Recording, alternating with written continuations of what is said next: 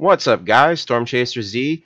I got a new achievement guide for you guys today. This one is for Murder on the Marine Express. This one is for $4.99 on the Xbox store. It's an easy 10 to 15 minute completion depending on how fast you can press the buttons on your controller.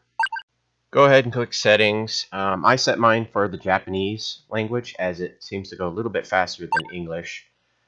Um, as far as this game goes, uh, as far as 10 15 minutes, all you have to do in this game, it's so simple. You just have to press the A button or press the right trigger and the A button at the same time to go even faster. You want to just skip through here until you reach your achievements. Uh, there are 11 in total for a 1,000 gamer score. And without further ado, I'm going to go ahead and let this go until the first achievement pops. And as a side note, you can always play this game naturally and read the whole story all the way through and still get the 1000 G. There isn't any missable achievements, so this one's a pretty straightforward game in my opinion. And there we go. There's our first achievement of 11, so there's 10 more to go. And with that, I'm going to go ahead and leave commentary off until the end of the video. I'm going to be running the video a little bit faster for you guys and kind of speeding through it so it doesn't take so long. Anyways, we'll catch you at the end of the video.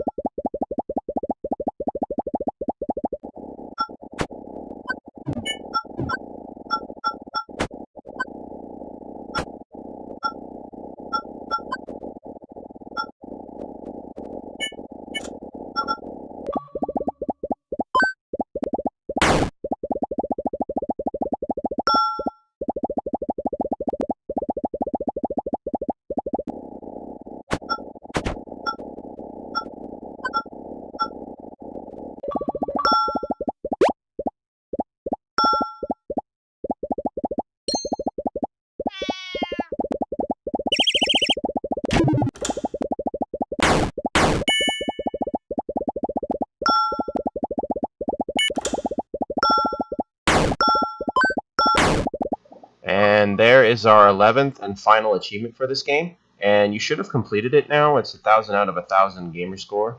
So we'll go ahead and check that out here in a minute. Uh, as you guys are aware, um, I will be making more videos like these. If you guys like these, please leave a comment below, like and thumbs up, and share. It'd be most appreciated.